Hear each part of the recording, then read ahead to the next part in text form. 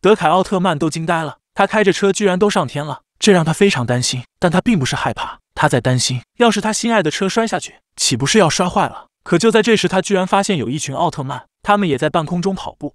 德凯看了看他们，心想，这一定是闯入了异空间，看上去是在半空中，可能这些都是假象。他使劲一加油，直接开来过去，不料却撞上了石头。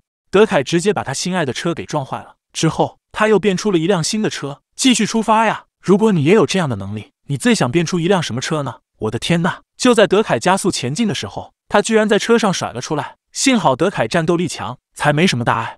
于是德凯又站了起来，继续去开车，看看乱走乱逛能不能找到出口。毕竟他挺着急去找小伙伴们玩的。就在这时，他居然开进了一条彩色的车道，这里五颜六色的，还飘出一阵阵彩虹糖的味道，把德凯馋得不行，真想跳出去抱着马路啃。德凯送了自己几巴掌，这才清醒过来，继续认真开车。可万万没想到，越往前开就越危险，这居然是一条过山车道。还好德凯开车技术好，才能躲过一劫，实在是太危险了。德凯现在只想快点离开这里，可是不管怎么开，都好像没有尽头。这下该怎么办？就在这时，德凯突然想起奥特老王曾经说过，有一种红色能量能击退所有黑暗力量。或许这种红色能量可以帮助到德凯离开这里。德凯开车开了那么久，实在是太累了。小朋友们，你们可以帮帮德凯，给他红色能量吗？千万不能让德凯疲劳驾驶啊！